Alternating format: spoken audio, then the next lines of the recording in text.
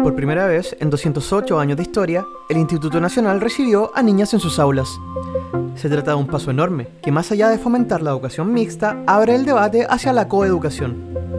Si bien en marzo de 2021 se había anunciado que el Instituto Nacional pasaría a ser mixto, este miércoles recién se concretó esa medida de forma presencial debido al contexto de pandemia por COVID-19. La alcaldesa de Santiago, Iracy Hessler, celebró el hito.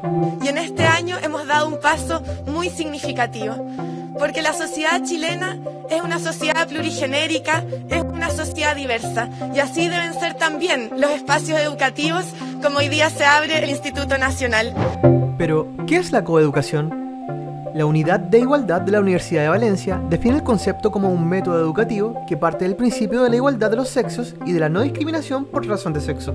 Según señalan, coeducar significa educar conjuntamente a niños y niñas, en la idea de que haya distintas miradas y visiones del mundo, distintas experiencias y aportaciones hechas por mujeres y hombres que deben conformar la cosmovisión colectiva y sin las que no se puede interpretar ni conocer el mundo ni la realidad.